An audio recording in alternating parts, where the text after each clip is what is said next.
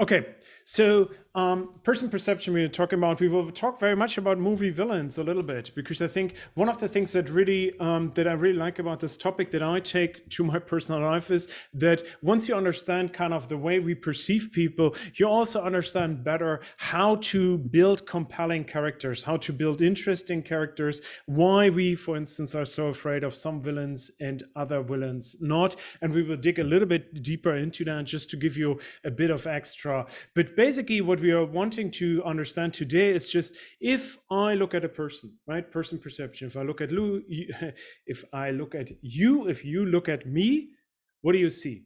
Uh, what comes to your mind right? What are the first evaluation that you um, that come to your mind? What are your first impressions? And how do they if they guide your behavior thereafter? And are you good at that? Are you good at figuring out for instance if i'm trustworthy or not? All of these topics we will talk about. I want to start with something um, a little bit oh i just wanted to say thank you so much. Um, here's the festinger social comparison board. This is how it looks like. At 3 p.m and ultra social humans are in the gold spot right now um, and have the highest scores um, in their uh, yes for their uh, for their work last or the week before actually from week one. Um, Friday 4 p.m. is on their heels and so is stars, but everyone is just the first week and as you can see, you can easily flip the board. Um, I think most groups already sent me their coursework or their not coursework, their group work for today uh, for this week, for last week about the applications. If your group hasn't, uh, please make sure to send it to me till tomorrow midnight so I can calculate the scores um, for tomorrow uh, or for Wednesday, and I will send around the scores then on Wednesday. Um, but let's come back to the content here, and I want you guys to use the chat function and tell me a little bit when you look at this person, when you have a look at his face, and I know you're not supposed to judge the book by its cover, but maybe we learned today that you should judge a book by its cover. What comes to your mind? Uh, if you could just like type it in into the chat, and we kind of have a look what are your first impressions if you look at this um, uh, gentleman here? Okay, scholar. Somebody knows who it is. He's rich. He's a scholar. Okay. um, it is Harold Shipman. For those who do know, doctor. Okay. Um, fantastic. So there's rich scholar, doctor, Looks like Robin Williams' brother. I'm so happy that somebody said that. That's Tom who said that because I always feel like that too. Adorable old man. um, and then somebody said, "Yes, Harold Shipman. I think you uh, somebody knows him. Um, white hair, some wrinkles, looks weathered. He looks tired. Okay, professor. Anything else? Okay. So I think there's some, like, I think at least one person knows who this is, but we will come back. I uh, will pretend that we have not spoiled the surprise yet. But um, the one of the key ideas here is of um, uh, this exercise is to say, like, okay, uh, what comes to our mind? And always something comes to our mind. This is kind of like when I do this, I did this exercise in India, in Mumbai, in Seoul, in Korea. I did it obviously in London. I do this with um, uh, uh, often as part of my kind of teaser lecture for coming to city and do psychology here. And people have a very, all across the world, right, have a very similar impression of this person who is a doctor and whose name is Harold Shipman, as somebody um, already mentioned. People often describe him as kind of like, I think somebody um, described, to kind of summarize this here, really adorable old man and this is often one theme. The other theme is that people would describe him as a scholar, as a doctor, as a scientist, um, rich I don't know. Like I think when I did this in uh, in Korea with high school children, some they thought he looked a little bit like a homeless person. I was like, I don't know. This is not how uh, uh, British homeless people look like. But maybe we have higher standards in Korea. But here we have rich and homeless. So not everyone agrees, obviously, on everything. Um, and I'll come back to a little bit about Harold Shipman's story. Um, that was kind of uh, highlighted already a little bit in the chat, and we come back to this. Okay. Um, so this is basically what we're trying to figure out. Um, just to give you a little bit before we dig, dig deeper into the content to kind of like, okay, so we do we form these impressions and what we want to talk about is okay why and how do we form these impressions? And i just want to kind of say okay like let's i think it's easiest often to demonstrate it using some movie heroes and villains. And we will talk about three or four movie villains here. Hannibal lecter is one of them. I yesterday looked it up and looked at okay who's the most um, I don't know. I think there's on Wikipedia, there's a list of best movie villain. He's the number one, as you can see, playing Anthony Hopkins, uh, playing Hannibal Lecter. For those of you who do not know who Hannibal Lecter is, he's kind of like this psychopathic serial killer who's also like a somewhat of a, a, a genius. Okay. So he's the number one. Why is he so terrifying? And why are we so afraid of him? Why does he haunt our uh, uh, sleep if you're a little bit like me and slightly afraid of horror movies? But there are also other other people, right? There's Hans, I don't know, as you can see, most of my movies are consumed with my children. There's Hans from Frozen, right? A little different flavor. There's Snape. Why do, do we think like, and this is like something where we uh, want to come back to this, why are these two, for instance, really compelling characters? What does it kind of mislead us in, in, uh, in directions? And I think if you can see kind of like an understand person perception, at the end of this lecture, you will understand person perception much, much better than before. And you will see how Hollywood, how movies, how authors use these kind of fundamental ways of how we perceive others to kind of lure us apart, to play with our expectations and then surprise us. And this is part of the lecture. Um, so this is kind of a little bit trying to under help you uh, know where you can apply it in your daily life not just when you see the people around you but also when you watch netflix at night you can kind of as like oh why do i like this person why don't i like this person why do i have these first impressions of that person um, uh, so this is what we are going to do today. We will talk about first impressions uh, in our first chapter and the fundamental dimensions of first impressions. We will then talk about can we trust them? So if you have a certain perception of another person, can you trust um, uh, your intuitions? Should you trust them? What are the cues we're using to form these? Uh, and how do they impact our behavior? Um, we have a shorter section then on kind of like foreshadowing a little bit what we will later have when we talk about attitudes, when we talk about racism, when we talk about groups, but kind of you can use the same ideas and apply them not only to people, but also to groups. How do we perceive individuals from certain groups? And you can see that this very much impacts our emotions and our reactions, our behavior to these people. This is what I'm trying to do um, in the lecture uh, today. And then for the additional two videos, we will talk about biases in person perception. For instance, the uh, yes, the halo. Uh, why, if somebody has we perceive as one uh, good attribute, why do we think that the same person then has also other good attitudes? And we will talk about something that my students brought up last year, and now I'm doing some uh, research projects for their third year dissertations on this topic, and this is beauty. Beauty as a privilege. Um, why do beautiful people people have such a better life than uh, less attractive people.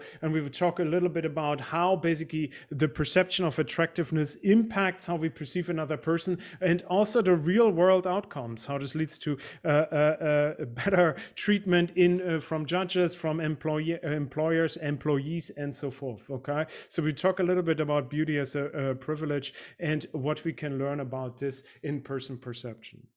Last um, last week, uh, somebody asked me at the uh, at the end. She's like, "Oh, what is that um, take home message from your lecture?" And I thought I included one, but maybe I didn't highlight it. And so now I want to kind of say, like, okay, if you, um, at the end of the, this is the take home message, right? This is the bigger picture that I want you to uh, leave with after this lecture today, and that we will dive deeper into it. Okay, so here's our example. Again, here's Harold Shipman, and you'll see him quite a bit uh, today. Um, but here you see, and what happens, right? So, what research tells us that the first thing that basically happens if we um, uh, let's focus on this. Um, I'm not sure why the uh, animations came up all so quickly here. So what happens if we see Harold Shipman? And research tells us that the first thing we evaluate is what often is called as warmth or uh, its warmth or trustworthiness or his moral character. So the first impression we form is basically is Harold Shipman,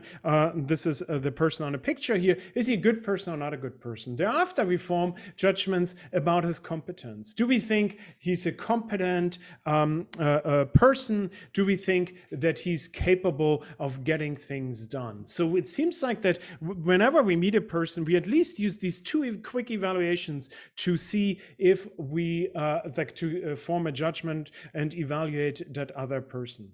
This is very much impacted by the context, right? You can think about Harold Shipman if you have to figure out if you go and meet him uh, in the uh, in your surgery and you're just like, okay, is he a good doctor or not? Right? I don't know, but this is different than if you think like, do you think he's a good barista or not, right? Context really matter, and uh, whether we uh, how we apply these um, evaluations. So that's another uh, kind of like we have these two dimensions. The context in which we make them uh, really matters.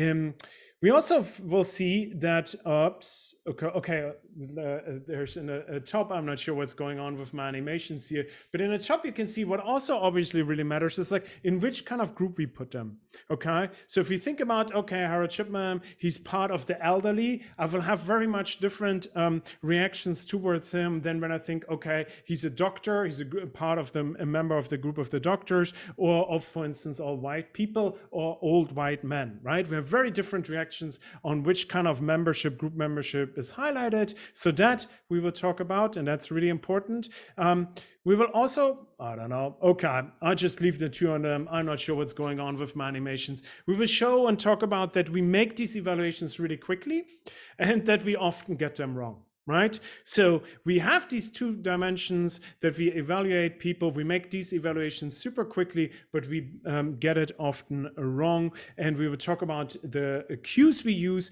and why this indicates that we often misjudge other people. Um, so this is just like here, if you remember from our first lecture, we talked about Wayne Couzen, the murder of Sarah Everard. And so we can't see reliably, and this is kind of like the bottom line, we can't really rely uh, uh, on looking at his picture. It's like, ah, I know, I can see he's evil. Um, and we will talk at the end a little bit about why maybe part of person perception, why there's such a strong emotional reaction to um, uh, uh, Sarah Everard's uh, uh, case and the role her picture might have played in that. And we will come back to that as well. Okay. So let's talk about first impressions. And I want to just uh, step one uh, a little bit back and kind of think a little bit about the global or the broader picture that social psychologists often have to face. And so when we think about, or not social psychologists have to face, but we as humans, right? There are kind of two key problems in our life. One of the problems is information overload. Whenever you have to kind of make a judgment, make a decision, there's so much information available um, that you have to decide which information to pay attention to and which information not to pay too attention to, right? So it's impossible to process in a kind of even-handed manner all this information. So you have to find solutions to information overload. So there's no other way around. Humans can't um, compute that much data in that short time in order to make the decisions. So um, our psyche, our mind has to kind of figure out how can I handle all that information that's coming in. And this is not only a problem for social psychologists, but also for cognitive, clinical, etc. Right? Um, on the other hand, there's also always uncertainty. Right?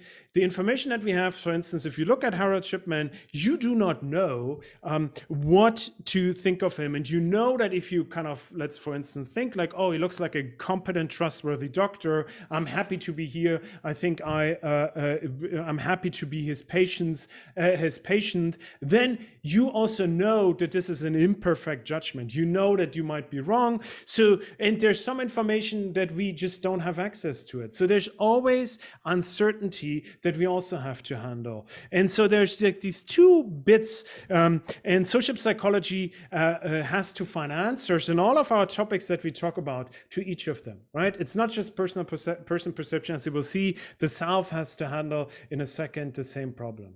Um, so the idea would basically be like when we uh, not only see his face or when we make uh, uh, decisions about the impressions we have of others, we have to, on one hand, uh, handle the problem of information overload, and on the other, on the other hand, the uh, inherent uncertainty of knowing somebody else's character.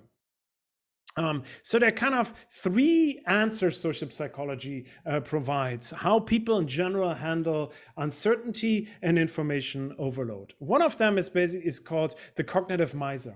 This is uh, Susan Fiske and Shelley Taylor uh, here pictured on the left, and there are basically general ideas that people handle. Uh, they're cognitive misers. Okay, we're cognitive lazy, and so whenever we can, we save all the cognitive energy. We do not like in general to think think, to invest too much effort in our thinking. So this leads us prone to kind of use um, very obvious signals, simplified signals such as stereotypes, group membership, in order to um, process how we think about other people. We come back to this again and again when we talk about other aspects of attitudes of persuasion and so forth. But the cognitive miser um, is one approach to understand why people, for instance, do not uh, question their assumptions about somebody, etc. Okay.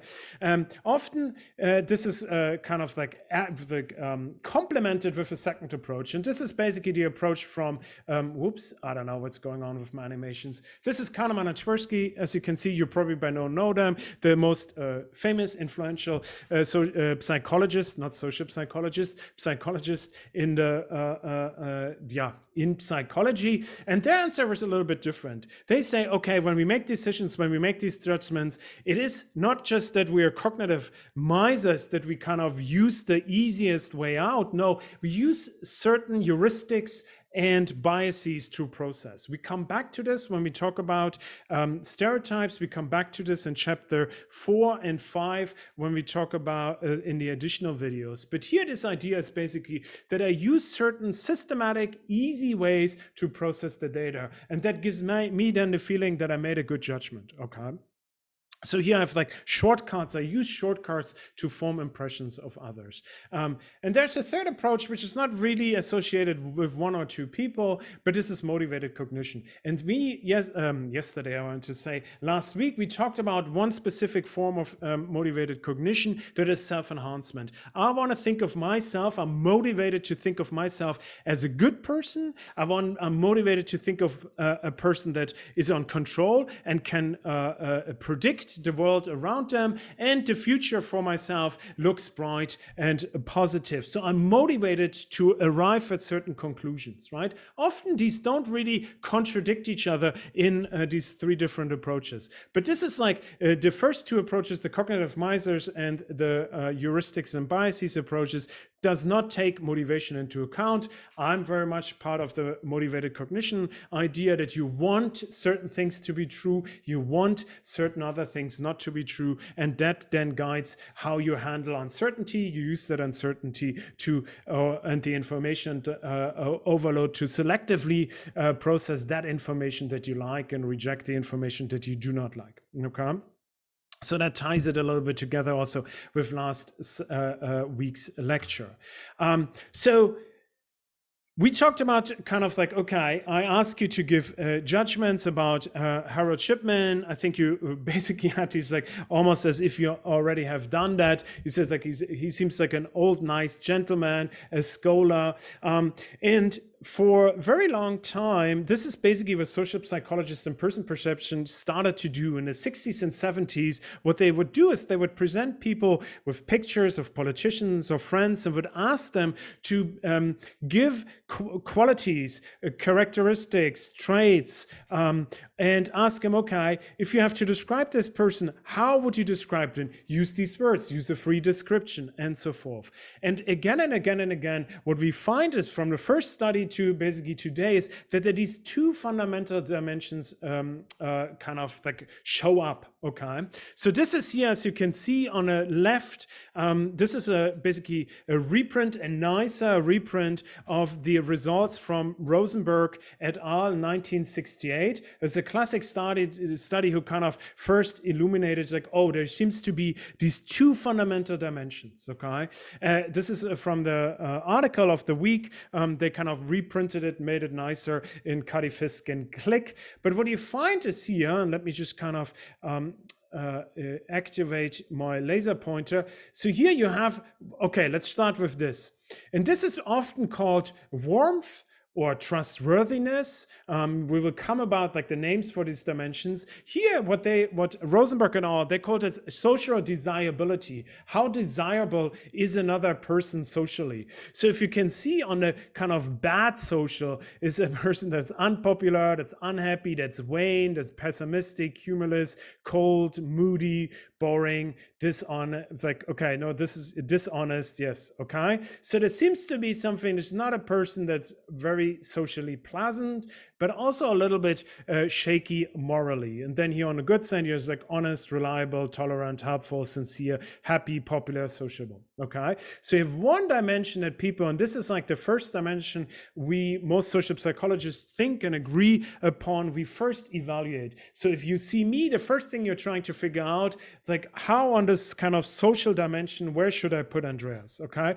The second one, and maybe uh, because in the context you get to know me, a more important one is whether I'm basically competent or not. Um, sometimes this is called uh, intel intellect, sometimes competence, sometimes agency. But the key idea is like, how capable is that person? So you would look at me and say like, okay, is Andreas a good teacher and a good scientist? Okay, so a good intellect is scientific, persistent, determined, skillful, industrious, intelligent, etc. Right? And then here's basically on the other hand, you would say like Andreas is foolish, clumsy, naive, impulsive, irresponsible, and so forth. So, okay, so you have kind of like you see somebody, you would see Harold Shipman, you would see Yasmin, you would see me, and the first thing you would say like, okay, is she? Where is he? Where are they on both of these dimensions?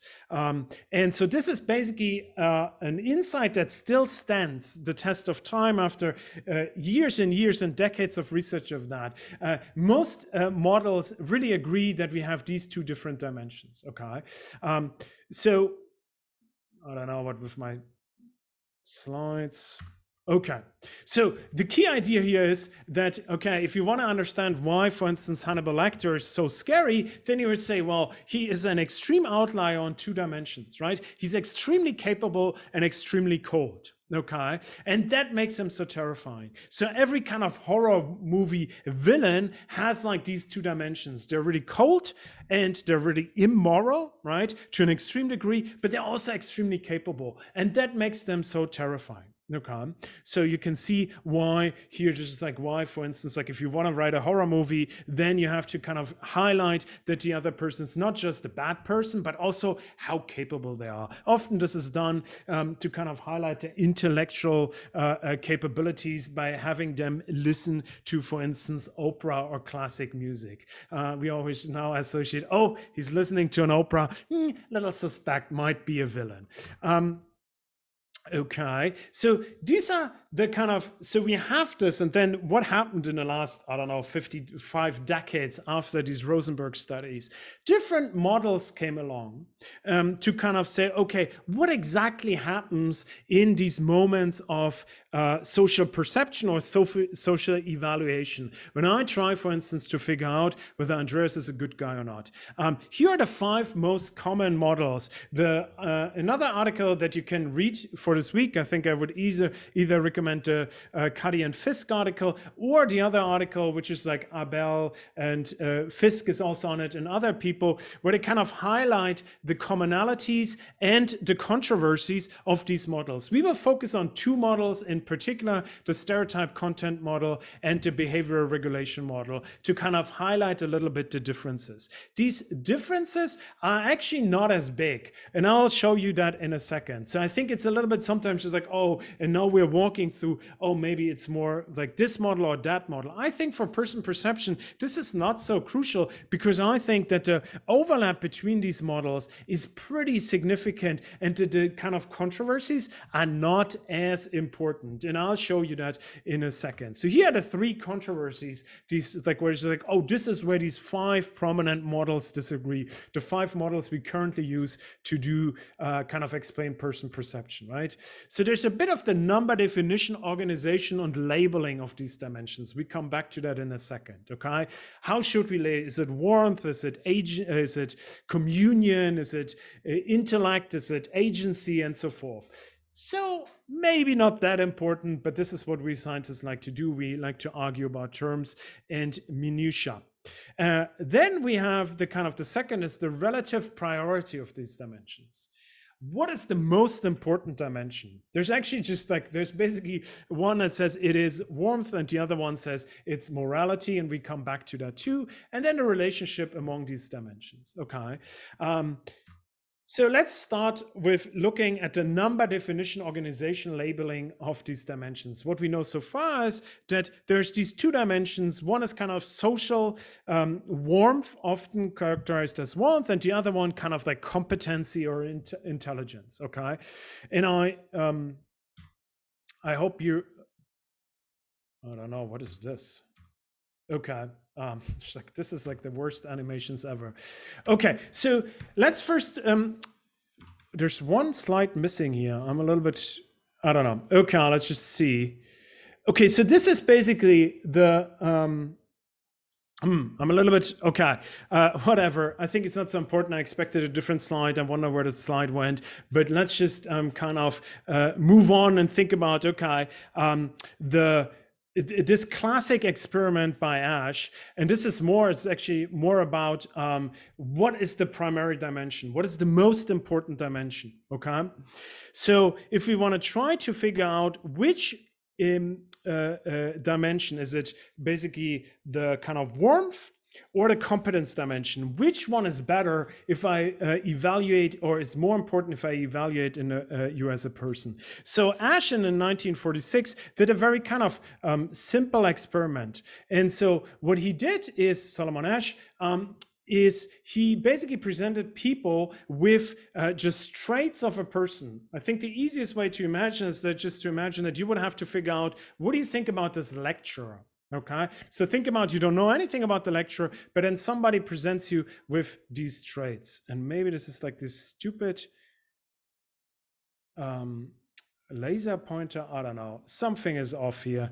Let me see if I can just get rid of this laser pointer. Can't. Okay, um, fantastic. Uh, so. Um, Okay. Um, so the person basically is described as intelligent, determined, warm, okay, industrious, practical, and skillful. Okay, so this is one person, and then the students will ask, okay, evaluate this lecture, how uh, uh, good or bad to perceive this uh, person to be. Um, cautious, sorry. Uh, and then they do the same, industrious, Okay, I don't know. Um, let me just kind of stop share for a second and see if I can improve this situation um, with the PowerPoint. Okay. And reshare. Okay. All right. So now they do this for the same, uh, the uh, next person. I don't know what is okay. Um, so I don't know if you. This is the second person. I don't know if you, uh, despite my uh, technical difficulties, spotted the one difference in the description, right? And it's basically whether the person was described as warm or cold. Okay, that's the only difference. They use the same words, and what they find is that basically the person that is described as warm uh, is uh, uh, perceived as significantly better than a person that is described as cold. If you do this and switch for intelligence, you don't find the same effect. If you use some uh, kind of like uh, uh, synonyms or something like polite or blunt or something like that, then the effect is not as strong. So uh, Asch kind of argued, and this is like there's a, a, a dominance, a primacy of um, warmth. What really matters is this kind of whether we think of another person as warm. This is the first and most important impression we form of another person, and hence most of us uh, smile when we need uh, when when we see another person to kind of enhance the perception of this um, uh, evaluation. Okay. You can also see, so one thing, and we come back to this, but I just want to highlight one thing that um, Kelly uh, followed up with George Kelly. Um, what he did is like, okay, he asked, does it actually matter for the behavior? Right? In Solomon Asch, basically they ask his students, okay, and it's like, wow, I like the warm lecturer much more than the cold lecturer.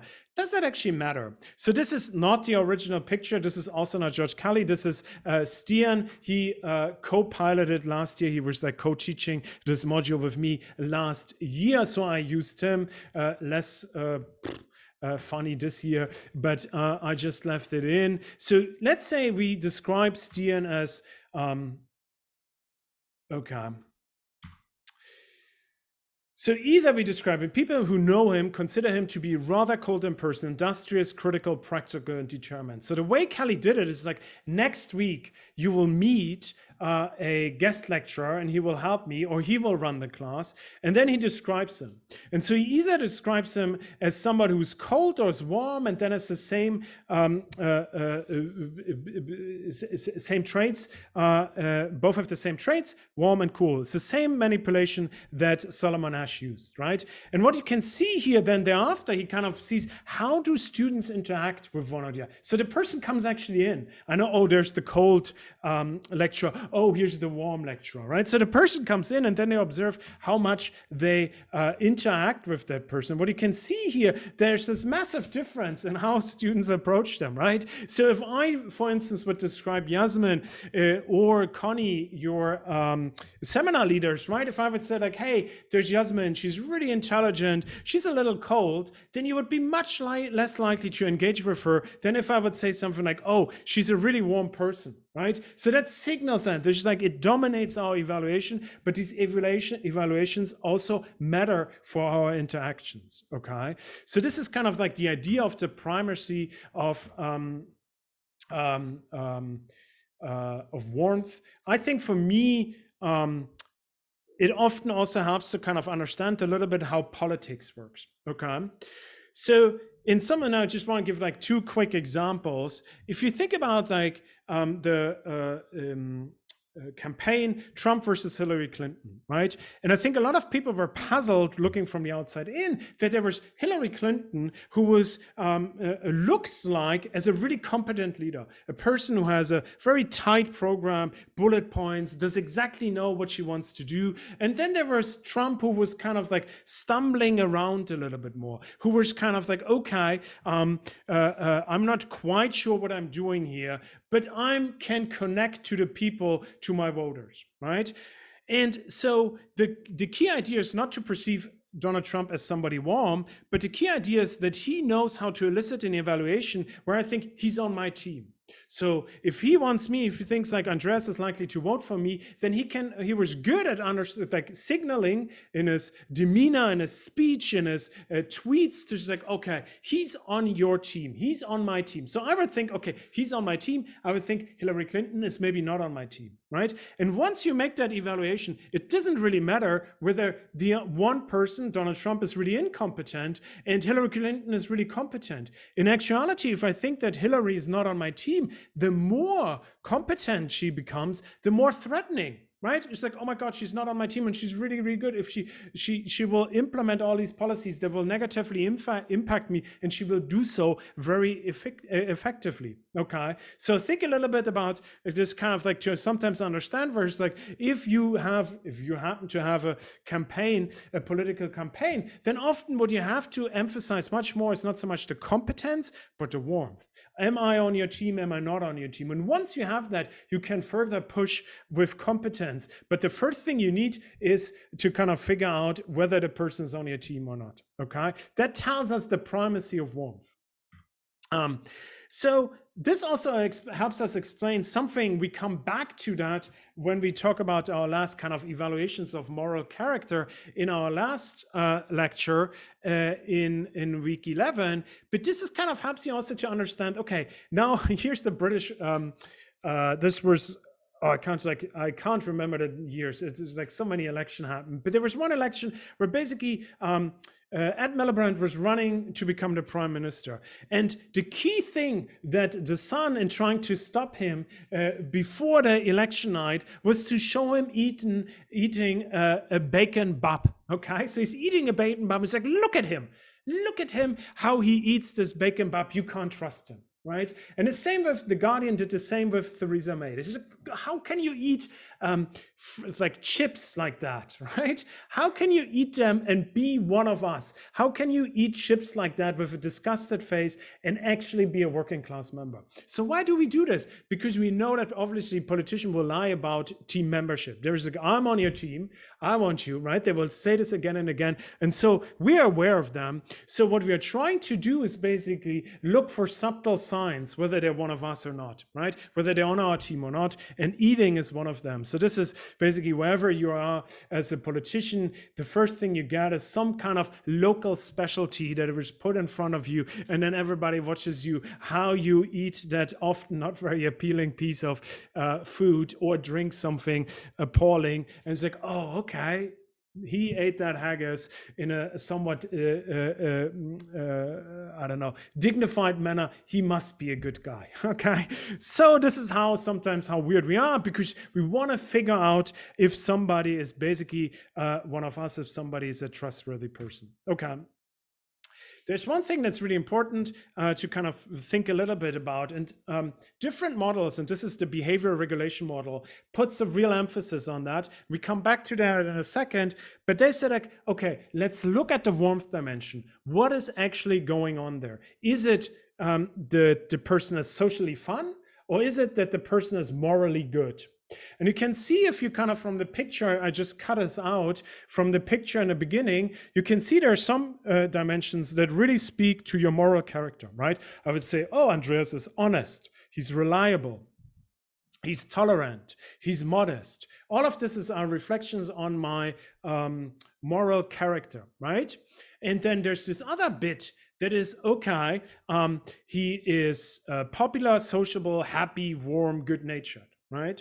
And what uh, uh, um, Goodwin, Rozin, and Piazza, what they argue is, and others along them, is like they think what drives the basically the uh, impact of warmth is the moral character, and not the social bit. Okay, it's all about the moral character. There are some studies where they show, okay, morality, the warmth, what we actually evaluate is the morality of another person and not so much whether they're fun or sociable. Okay, other models just call this the two facets of the first one, but it's important to kind of remember. Okay. Um, so we often kind of like when we're deciding, okay, uh, do I want to join this group or do I want to do anything uh, with, uh, uh, shall we let this person in, job interviews, etc. Right? We often look as the first like at the moral, not so much at the sociability. Okay. Um, you can think a little bit about these two characters to kind of highlight this before I show you a study, right? On the left, you see Hans. Hans, I don't know how, how long it is ago that you have seen Frozen. I hope you have seen Frozen. Uh, it's, uh, I think, a good movie. Uh, uh I'm happy to be criticized for that. I enjoyed watching it with both of my children. But Hans is kind of like this fun, competent person. We meet him, they, like he instantly, I think with Anna, I can't remember, they instantly connect. He's charming, he's witty, he seems to be uh, like a social person, but it turns out at the end, right, that he's a morally corrupt person. Okay, and so what these people do, right, is kind of like what um, movie makers and authors often do is they kind of mix these two dimensions to kind of misguide us, right? Because we often assume that the warm dimension kind of both. If you're fun and happy, you have to be a good, morally good person, right? Um, the contrast is Snape, right? Uh, you don't want to have him over at your dinner party. You don't want to uh, do teamwork with him, but he's a morally good person, right? He's kind of unpopular and uh, uh, unfriendly, not that fun, very competent, um, but he's a good moral character right? And so at the end of the day, what uh, Rozin and Goodwin are arguing is basically uh, if we have to choose between the two of them, then we would always go for Snape over Hans because as much fun Hans is, Snape has the better moral character. So in their studies, and sorry, this is like slightly um, blurred here, but basically what they have, they have these categories where somebody, um, a trait would be high morality, high warmth right? Humble, kind, forgiving, helpful, grateful, empathetic, cooperative, right? These all reflect good on your moral character and they all reflect good on your social abilities, right? Um, and so there's another category where high morality, lower warmth. Okay. Courageous, fair, principled, responsible, just, honest, trustworthy, loyal, right? It's not that he's like, oh, this sounds like a fun person. He's really responsible, principled, principled, and honest. It's not anything like, oh God, I want to spend a night with him or her. Um, but it's something that tells you um, uh, that he would be, for instance, a good person to work with. Um, then there's high warmth, lower morality, right?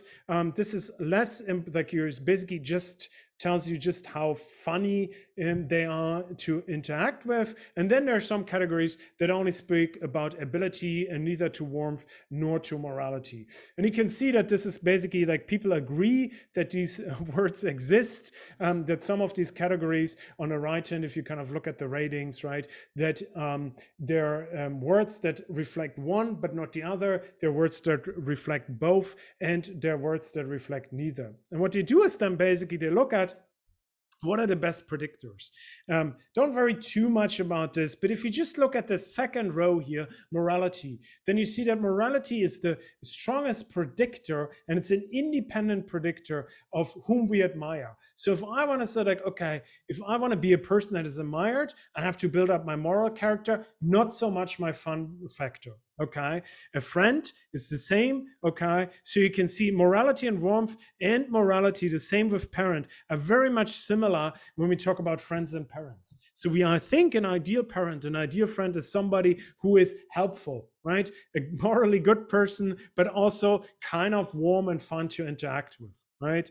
Um, and then you can kind of go down this list. But the key takeaway here is that for most things, people make impressions. The most important aspect of that first dimension is their moral character. We're trying to figure out is that a good person or not a good person? Um, I have this kind of like, and this is, I think, the last uh, uh, villain in movie villain. It's like, okay, so you can kind of think about sometimes we have these warm characters who are really competent and really evil, and he's kind of Hans Landa is like in that is I think is Inglourious Basterds, uh, a Quentin Tarantino movie, and there's like this SS colonel, like he's like I think his nickname is the Jew Hunter. It's like really despicable person, but you meet him, and he's absolute kind of like oh he's like he's fun right? He loves strudel he's really uh, educated witty um, uh, warm and so forth. And this creeps you really out. It's so disturbing because all your instincts is like good person, but then it turns out he's a really evil person. So it's like this is kind of like where the tension often comes in good literature or good movie making, good storytelling, when these dimensions are kind of uh, manipulated in a way that uh, surprise and contradict our uh, common sense evaluations. Okay, speaking of common sense evaluations. All right, let's just uh, quickly summarize what we've learned. So far, we basically said like, okay, what happens is that if I see Harold Shipman, I kind of decide if he's trustworthy or not, and I uh, decide whether he is um, a competent or incompetent person. And my overall evaluation will be dominated by warmth, but competence also impacts this. And maybe the warmth dimension, the most important aspect is the moral character. So now we're kind of like asking, okay, can we trust our first impressions? What are the cues we're using to make these first impressions, right? Uh, I think somebody in the chat already kind of revealed my uh, reveal later on, like Harold Shipman. I think somebody uh, in the chat mentioned that he murdered his patients, right? Which kind of gives you a little hint of where I'm trying to go with that if we evaluate people, then we often are misguided, right? We look at them, we look at their face, and it doesn't turn out quite right but is that actually supported by science? What has science to say about it? Why do we like his face and maybe somebody else's face we don't? Um, Okay, so this is like basically the main player here in this area is um, uh, Alexander Todorov. You will see there are many studies that I cite if you're interested in first impressions. I think he wrote a book about it. I read so many of his articles. I'm not really interested just kind of reading his book, but I heard good things about his book. Alexander Todorov, I think he's at Yale, but I'm not quite sure, somewhere there on the East Coast. Um, he basically does all the important work or did most of the important work in the last decade or maybe now last two decades um, on first impressions. And one of his first studies that he did is basically of to show that, okay, um, how, are we making quickly decisions about um, trust and competence, right? And what he did is he basically showed one, this is like either uh, one of these five pictures, okay, for 100 milliseconds or 50 milliseconds, and then said like, okay, how trustworthy do you judge this person to be? And what he finds is that um, people, and then he gives you again um, shows you the same picture and says like, okay, now take your time. You have all the time in the world, form an impression and tell me, what do you think? Is this a trustworthy person? Okay, so we have one under extreme time pressure, 100 milliseconds. You can clearly see their face. It's nothing that's subliminal happening or unconscious, um, but it's like it, it is quick, right? You see it and it's gone. Okay, and then it's just like, okay, I think this person's trustworthy. What you can see is if you get, if I give you five minutes or 100 milliseconds, basically people come to the same conclusions. So it seems like we immediately quickly form impressions. Um, and then you can also see, and as we come back to this, like if you kind of you can think about it on yourself, like the person on the left, the male person, non-smiling person, that's a person that people think is not so much trustworthy. But then the female smiling person, that's the highest trustworthy person in this data set, and people agree with that. The only thing that changed, and I think that's quite interesting, is that the more time you give people, the more confident they are that they got it right. okay, so I think like, oh yeah, oh yeah, oh I can tell she's a nice person she's a really nice person. Yeah, now that I thought about it, I'm sure I got it right. I can trust my gut. And um, this is the right impression. Um, so Alexander Todorov then kind of did this really interesting paper, in which is super influential in kind of the first impression literature, where he basically used computer models to have the kind of prototypically trusted versus untrusted face. So on the right, you see the untrusted face. The left, you see the trusted face. You see a smiling female figure. There's some, um, so this is kind of like a, a more machine learning approach where you uh, look at certain features and try to think, okay, let's give people people, a thousand faces, they rate them um, for their trustworthiness. And then we kind of learn how these ratings are organized, okay? And so what you can see is basically after kind of using some of these procedures, you arrive on a face like on the left, a female smiling face, um, as a, one face that uh, signals trust, and the kind of male unsmiling fail, uh, face is one that um, uh, is not trustworthy, but might look a little bit more competent, a little bit more potent. Okay, and then you can arrange these. Um, uh, um, I think just um, we can arrange. Sorry, I, I, had to look at the chart. Stupid me. Um, uh, you can uh, arrange them and see like okay, basically people are high in this kind of competence, trust, and versus low. Right. And what you can see in some sense, I think I don't want to bore you too much with these details about it, but what it seems like if I um, evaluate uh, neutral faces, non-smiling faces. I look for features that remind me of emotions. So if a neutral face basically looks a little bit like a smiling face or if a neutral face is kind of um, looks a little bit um, like an angry face okay then you will this is how your first impressions are formed Okay, so you have these kind of signals within. If somebody comes at you and smiles, um, you think, okay, they don't want me harm, um, and so I form an impression like that. If somebody looks at you and comes at you angry, then it's like, oh God, they want me harm. And so if I look at a face that looks in general a little bit more angry, uh, then I will have a negative evaluation of them. And if uh, uh, if they kind of remind me of a smiling, uh, approachful person, then I will have a trustworthy evaluation of them. Um, okay, so you can kind of like, there are two other cues. Um, one we talk a little bit about when we talk about um, um, attractiveness, but one is like the baby faceness. So a big eyes, kind of apart, like eyebrows, uh, tiny nose, right? Kind of like the Disney princess, a little bit like uh, uh, like Sarah does. It's like, oh, just a good person, a really good person, really trustful uh, person, just because of the features of the face. Okay. Uh, the other one is familiarity, right? This is something we come back when we talk about um, uh, racism, but it's often for us, we kind of like, if this is an unfamiliar face, we're like, I don't know, not sure about him or her. Okay.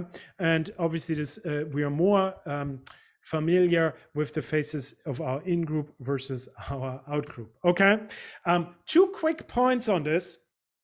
Um, one really interesting study is that you can kind of like the question is like okay is this something we're born with or is this something cultural is is this just in the west is this just in kind of western societies is this just like in developed countries where we see these fundamental dimensions is it that for instance if i go to the bolivian um, uh, um, uh, uh, um, where's that? it's not forest. I can't think of the right word. Uh, what's the dense? Uh, you know what I'm talking about? Amazon forest, right? So if you if you go there and uh, meet uh, uh, Tsimane who live there, who are kind of like live basically very much as they lived a thousand years ago, and then you give them a face of an American okay um, and they have to make judgments. What kind of judgments would they make? And what these authors here were interested in was basically would americans make the same judgments about other americans and other Tsimane people right? And what you find is that there's a surprising large overlap of uh, what uh, uh, people here in the bolivian uh, amazon forest and people in america think about who's attractive and who's trustworthy right? Uh, they agree uh, on basically if they have to rate, let's say the um, uh, uh, the nice woman here, right? I say nice woman. I think it's impossible not to uh, see her face here on the right and not think she's a nice woman. Um, and so did Tsimane agree to think like, yes, she looks like a really nice woman. And I and you and me, we all think, yes, she looks like a really nice woman. Might be true, might not be true, but that's what I would go with on the, uh, my first impression. So it seems to be, it seems to be that it's not really dependent on the culture we're in. It's not really dependent on um, the uh, like uh, uh, developmental level of the society. Um, very much in a similar vein is the research here. This is again uh, research done by um, Alex Todorov, but also by Manazi uh, uh, um, and Mahzarin Banaji, sorry. And um, here they look at like children, three to four year olds, five to six year olds, adults. Um, and they said, like, okay, if I show you a face like this one in high trustworthiness, here you see these avatars that Alexander Tover Todorov developed, right? Um, then you can see, okay, trustworthiness high. And then you can see, okay, about 77% of the children say this is a trustworthy high face. And basically, uh, the adults get a little bit better but it's like from three to four year olds already kind of say, oh, this is a trustworthy face. This is not a trustworthy face. Okay. Um, this is also, there's uh, one kind of uh, slightly creepy study we can use that to see if um, uh, trustworthy um, um adult approaches children on a playground if they're more likely to follow them or not right? But this is kind of like there's and yes uh, uh, they're more likely if you have a trustworthy face to be kind of like you can easily more easily um, direct them somewhere else okay? So we trust and it seems like the same principle that apply to adults very early on apply to children. Again saying like it seems to be something that we come evolutionary innate with and not something that is developed over time Okay. Um, I have basically two minutes left um, and I'm running out of time. Um, let me just kind of highlight a little bit the behavioral consequences of these first impressions. This is another study by Alexander Todorov, where basically see you can use these pictures, show them uh, participants and ask them how competent they are. So when you're like electing local officials, you want competent people. So you, and how do you evaluate whether they're competent or not? You look at their face. And you can basically, if you know nothing about them, but only uh, the average perception of competence from people somewhere uh, doesn't even have to be in uh, uh, in that part of the world you can predict the election outcomes so if you are a politician the most important thing basically a local politician or on a global stage did you look competent okay so these impressions matter right um, this is for scientists. Scientists um, also have to have to kind of look at if you would look at me i need to look uh, competent. Maybe i should put a jacket on to kind of okay uh, he's wearing a suit jacket so he's a little bit more competent. And then good scientists are also kind of like i have to signal morality right? Uh, attractiveness for instance for a um, uh, scientist is not a good thing. It makes people interested, but if they think you're good looking, they also think you're less likely to be a good scientist. So there's something that runs counter to that, where you think like, okay, that's somewhat mutually exclusive. But you can see that here, which role you are putting on, whether competence or, uh, sorry, whether politician or scientist or maybe doctor or something else, we also change a little bit the evaluations and their impact. Um, we uh, and I will end this here uh, with with Harold Shipman. Kind of like if you somebody already tweeted, it's perfectly fine. If you know it, you should not hold back. I said tweeted, it's uh, in the put in a chat, but you know what I mean. Harold Shipman is uh, um, uh, the UK's most prolific. Um, uh, serial killer, right? He was a person who enjoyed killing his patients. Um, and he would basically uh, uh, go to, to the home of an old person he would be their doctor he would inject them something and they would slowly die and he liked to he enjoyed watching them uh, die. Um, it is actually like if you read the report about him the police the first time they said like oh there's something suspicious going on with him they came back and said like he looks so nice we can't believe that he's a murderer. That's what in the police report, right? Insanity. Um, so this is uh, uh, reflects also on the competence of our police, but that's not what we should be uh, talking about. Okay, and so let me kind of tell you maybe I think like uh, two things um, one thing is to just highlight that um, this is another study by Alexander Todorov, as you might have guessed, where he says, okay, can why are we not good? What are we picking up when we judge trustworthiness, right? And what he shows is that basically people uh, uh, have very different impressions based on context and on uh, whether there's expression of the same person, right? Here in the right corner, for instance, you see the two women, right? Um, the same woman um, uh, different facial expressions, different pictures, and one is like reliably judged to be more trustworthy when they show this picture versus that picture, right? It's like if I show you uh, five pictures of myself, each time you would have a different um, uh, impression of myself. Um, this is the same thing for context. Um, this is here, if you kind of look at this, is like where uh, people are shown pictures and then they have to decide um, what is the best role for this person, right? You can see here, this person, like if I show you picture one, uh, he's most likely to think he's a really fitting mayor. He looks like he's a mayor. And if I show you picture two, he looks like a villain. Okay, so it's the same person, slightly different picture, um, completely different impressions, which shows us that we are somehow misled by subtle cues, right? but people often kind of say like, "Oh, but I knew uh, as the moment I saw Harold Shipman, I knew there was something wrong." And this comes back to something. And this is my last slide for today, where we want to remain in control. It's really good, right? Last week we talked about self enhancement, we talk about the illusion of control. We want to feel like that if I see another person, I can reliably judge. I know whether they're good people or not. And if I do so, then um, yes if i do so then i'm in control. I can predict my so there's a real motivated cognition and a belief that you can do it. People often want to argue after lectures i give about this oh but is it like uh, i can actually do it or i did it or i'm really good or my friends say i'm really good and so forth. And you can basically kind of see um, the um, oh, okay.